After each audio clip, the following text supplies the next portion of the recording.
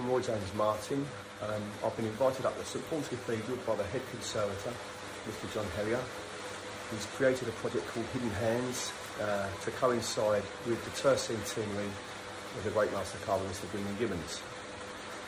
Uh, I've studied and followed Mr Gibbons' work ever since I was a 15-year-old apprentice.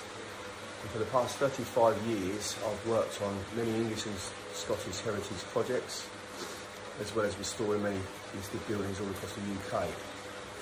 Um, when discussing the carved elements to the architects and the designers, there's always one name that comes into the conversation. When talking about the carved details, uh, Mr. Grinling Gibbons, his work has never been surpassed. Um, not only is this man's exquisite work plain to see, when you do view it, you've got to realise that it's over 300 years old. Um, he lived in a time in our history, in our past, way before even electricity was discovered. So there was no use of any hand power tools, any CNC machines, and especially no computer aid to guide the artwork. Everything you see this man has produced is hand drawn, hand cut, and hand carved.